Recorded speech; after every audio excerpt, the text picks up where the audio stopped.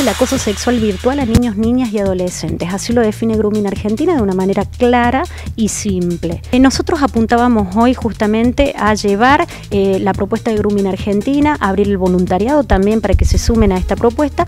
Por supuesto también informar sobre todas aquellas cuestiones, en este caso y precisamente el ámbito universitario, sobre las cuestiones técnicas específicas eh, en, deficiencia, digamos, terminológica de la norma que trae algunas cuestiones después a la hora del proceso judicial y por supuesto concientizar, concientizar siempre sobre que un delito que existe, que actúa en silencio, de manera anónima, pero que crece en los números negros constantemente y día a día.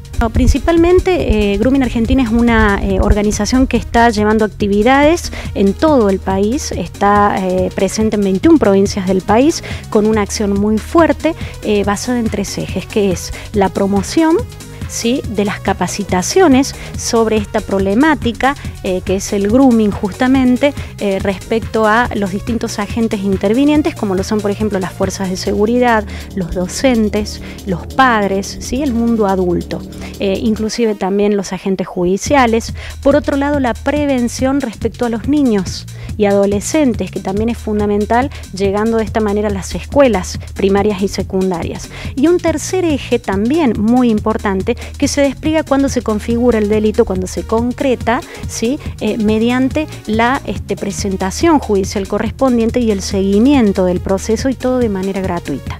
Nosotros tenemos una impronta de la agrupación, eh, traer digamos, temas relevantes eh, que se tocan en la actualidad de la, sociedad hacia digamos, nuestra casa de altos estudios. Estuvimos con el tema del aborto, la actualización del derecho laboral y bueno, también esto no, sentíamos que no, no era eh, que no era menos, así que teníamos que traerlo. Puso ahora la doctora que muchos, digamos, va incrementando desde un año a otro, de 8.000 a 23.000, así que sí, es, grave, digamos, así que hay que tomarle eh, la importancia necesaria y, discutir y hablar estos temas para, para digamos, poder reaccionar y, y lograr prevenir estos delitos, ¿no?